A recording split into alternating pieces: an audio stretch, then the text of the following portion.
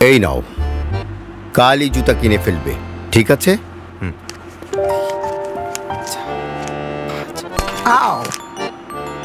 আমি না তোর বড়? তাহলে সমান সমান দিল কেন? আমি কি জানি? তুমি বাবাকে জিজ্ঞেস করো। তুমি বাবাকে জিজ্ঞাসা করো।